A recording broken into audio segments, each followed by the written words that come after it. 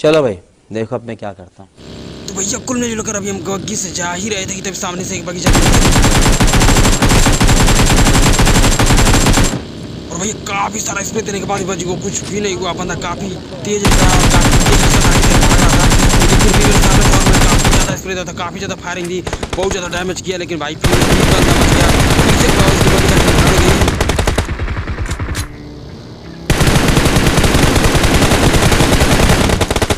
और भाई साहब क्या ही बताऊँ इतना सारा स्प्रे देने के बाद भी बंदा मुझसे किल नहीं हुआ और यहाँ पर मेरा किल चोरी हो गया। और भाई साहब मैंने इसको अभी आ, हमने फिर इसी किया था कि तभी सामने से कुछ फायर्स की आवाज़ सुनाई दी और तभी सामने से बंदे आते हुए गाड़ी से दिखा दिए।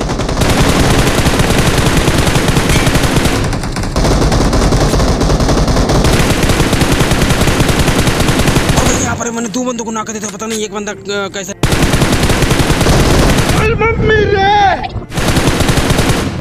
कैसा निकला तो भाई साहब इस बंदे को समझ ही नहीं है। भाई साहब सीधे और मतलब मेरे टीममेट की तरफ़ भाग रहा था और मुझे देख ही नहीं रहा था और मैंने इसको इधर पर पेल दिया। और वैसे इसको मारने के बाद मैं यहाँ पेड़ का कवर ले ही रहा था कि पता नहीं था किधर से। देखा आपने लापरवाही का नतीजा है। और भाई साहब मैंने यहाँ पर तीन बंदों को तो कर दिया लेकिन चौथा बंदा वहीं पर लेटा हुआ था और मुझे पता नहीं था कि वो बंदा वहीं पर लेटा है और किस तरह मैंने उसे बचा और नॉक कर दिया उसने मुझे और वहाँ पर स्मोक कर दिया था। लेकिन फिर मैं यहाँ पर कवर में था और तब से हेल्प मांग रहा था लेकिन कोई भी मेरा टीममेट हेल्प करने के लिए नहीं आ रहा था आगे नहीं बढ़ रहा था क्योंकि उन लोगों को लग रहा था कि उनके बंदे आकर हम लोग फिनिश कर देंगे। लेकिन फिर मैं यहाँ पर अटा रहा चुपचाप और हेल्प माँगता रहा। तभी सामने से मेरा टीममेट फायर दिया। और मेरे टीममेट को लग रहा था कि सारे बंदे कार के पीछे हैं लेकिन सभी बंदे तो पेड़ के पास नॉक थे और सिर्फ़ उनका एक ही बंदा बचा था। और भाई साहब फाइनली सभी को फिनिश करने के बाद जो मेरे टीममेट मेरी तरफ़ दौड़ता हुआ आया। एक दूसरे टीममेट ने कहा कि भाई जाओ जल्दी उसको रिवाइव दो तो मेरे तरफ़ एक एक नंबर का बंदा आता हुआ दिखाई दिया और मुझे जाकर सांस में सांस आई कि अब मेरी जान शायद बच सकती है। और फिर भाई साहब, एक नंबर मेरे पास आया और मुझको रिवाइव दिया।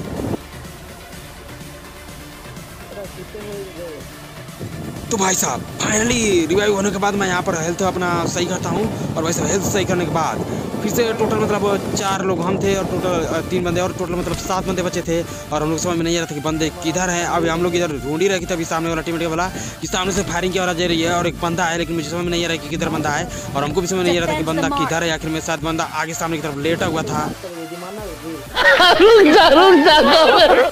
और भाई साहब तभी मेरे एक नंबर बंदा सामने ज़्यादा है। पचास पचास बार बोल रहे हैं। पढ़ने निकले वाले छात्रों को राजनीति से दूर रहना चाहिए हैं? पढ़ाई लिखाई में ध्यान लगाओ आई बनो और देश को संभालो। लेकिन नहीं तुम्हारी गांड में चनूने चनूने काट रहे हैं। और वैसे एक नंबर टीम ना करता और मुझे नहीं देखता और मैं उसकी तरफ़ बढ़ता हूँ और हूँ। और वैसे इस बंदे को फिनिश करने के बाद म्यूज़िक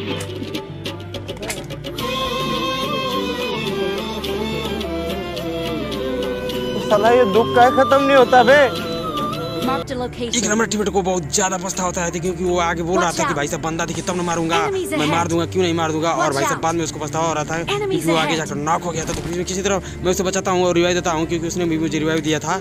तो फाइनली भाई सब सामने की तरफ़ एक ड्राफ दिखता है, मैं उधर देखता हूँ, लेकिन कोई बंदा नहीं दिखता तो भाई साहब ब्लू जोन आने लगता है और हम लोग को सर्कल की तरफ़ भागना होता है और फिर उसके बाद हम लोग सर्कल की तरफ़ भागने की कोशिश करते हैं, तभी सामने से आगे की तरफ़ जाते हैं और पीछे वाला बंदा एक गाड़ी लेकर आता है, और वैसे तभी सामने बगल से लेफ़्ट साइड से एक फायर की आवाज़ आई जाती है और मैं लेफ़्ट साइड देखता हूँ, तभी टीममेट ऑन से एक बंदे को नॉक कर देता है? और बंदे को नॉक कर देता है तो मैं सामने देखता हूँ तो बंदा नॉक होकर रिवाइव के लिए अंदर इधर भागता हुआ दिखाई देता है। मैं गाड़ी में बैठता हूँ, लेकिन फिर बंदा जब देखता हूँ तो भागता हुआ दिखाई देता है तो मैं गाड़ी से पूछ जाता हूँ और वैसे गाड़ी से जंप करने के बाद तभी सामने बंदा